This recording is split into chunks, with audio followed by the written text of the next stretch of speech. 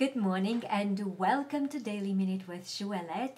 I am Llyane and today we will conjugate the verb passer au passé composé. The past at past tense. Passer au passé composé.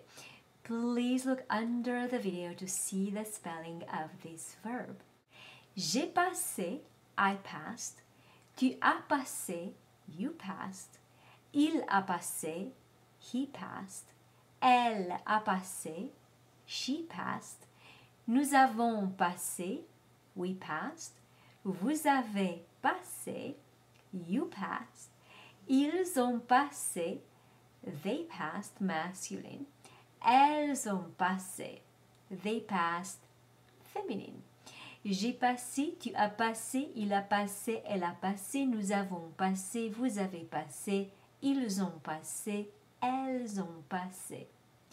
Now it is your turn to post under this video your questions and comments and of course, as always, a sentence using the verb passer or passé composé.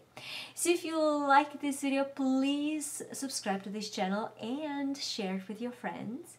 And if you'd like to receive my free French crash course, please come on over to j-ouellette.com and subscribe to the newsletter.